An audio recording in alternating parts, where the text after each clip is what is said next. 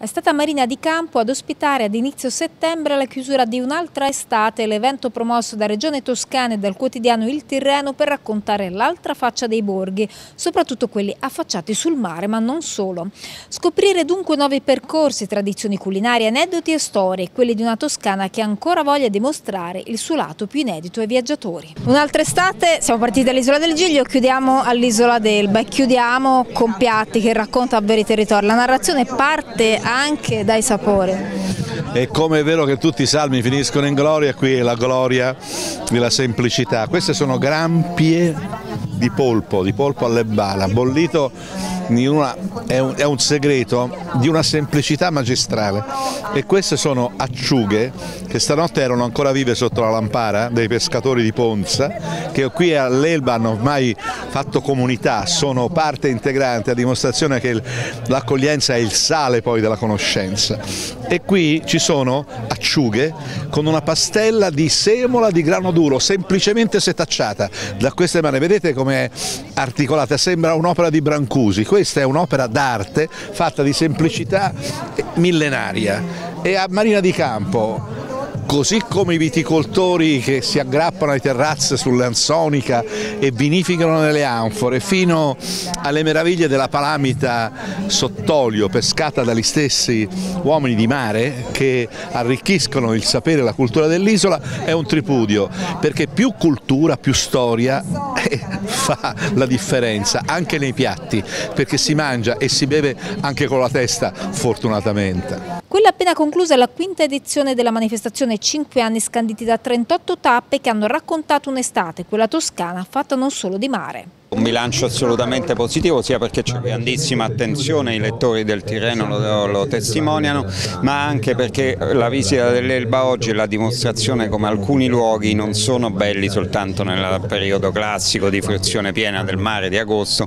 ma in questo momento, settembre, uno si immagina perché no, ottobre, novembre, qui come posti dove scoprire delle cose bellissime. Vedete alle mie spalle panorami dell'Elba strepitosi e soprattutto insegniamo, insegni, insegna, si impara molto con questi percorsi, per esempio ad assaggiare la differenza fra un tonno classico che uno mangia un po' dappertutto nelle località di mare che invece viene da molto lontano, spesso sono prodotti oceanici, da tonnidi e palamiti per esempio del, locali dell'isola d'Elba che consentono consumi anche turistici molto più sostenibili. Ho sentito una frase una settimana fa e mi è rimasta impressa, i, i borghi che funzionano in Toscana sono quelli dove il turista e il cittadino non si distinguono, stanno uno vicino all'altro e non sai qual è l'uno e qual è l'altro, perché evidentemente esiste un'integrazione culturale nella mentalità, nell'approccio alla vita di tutti i giorni e questo credo che sia il segreto di un buon turismo. Il format di un'altra estate è semplice, fortemente legato alle persone del luogo, dei borghi, delle piccole frazioni visitate in questi anni.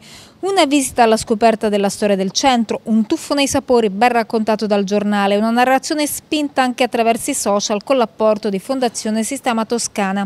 Ed ecco che l'occhio si spinge oltre il conosciuto per offrire un'immagine diversa dei territori più profonda e autentica. Noi stiamo cercando fin dal nostro insediamento di cercare innanzitutto di destagionalizzare e poi di creare un'alternativa al mare. Vogliamo che Marina di Campo, che è diciamo, il capoluogo del nostro comune, diventi non soltanto una meta, di, una meta balneare o un salotto la sera per i negozi, ma anche qualche cosa di più. Quindi stiamo cercando di valorizzare la parte, la parte storica. E così anche all'Elba la piazza di un'altra estate era gremita di persone, cittadini, viaggiatori, food lovers, tutti insieme per salutare la stagione più bella dell'anno e per vivere il borgo tra le sue strade antiche con una visita alla Lockman, la nota casa di produzione di orologi di altissima qualità e poi ancora i sapori, quelli veraci del pesce, esaltati dai profumi dell'Aleatico.